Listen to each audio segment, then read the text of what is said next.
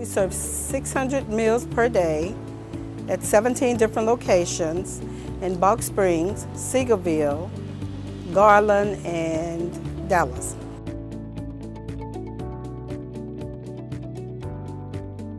There was a young man, he was 14 years old, I believe. There's a donut shop two doors down. He broke into the donut shop three weekends in a row and the Family Dollar across the street. At 2 a.m., this young man was just hungry. All he did was ate.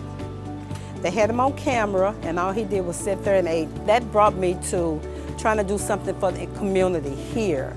I wanted to embrace as many kids as I could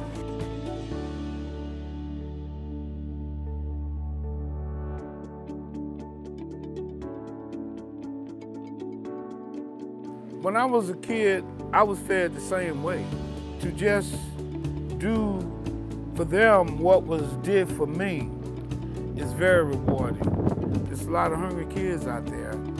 So we do the best that we can do to, uh, to help the parents and to feed them.